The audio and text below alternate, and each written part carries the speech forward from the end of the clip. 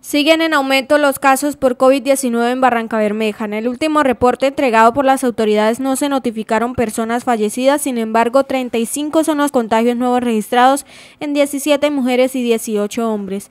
18 más son las personas que han logrado recuperarse. En total, en Barranca Bermeja se registran 384 contagios activos de este virus. La ocupación de camas en unidades de cuidados intensivos también incrementó, pues se registran 20 personas que permanecen allí. 15 están hospitalizados, 349 se recuperan en sus casas y 835 las muertes reportadas. Las autoridades se encuentran preocupadas por el aumento de estos casos ya que en la ciudad se vive el cuarto pico de la pandemia. Por eso el llamado a la comunidad es cumplir los protocolos de bioseguridad y autocuidado para prevenir el contagio y vacunarse para evitar la enfermedad grave por causa de esta enfermedad.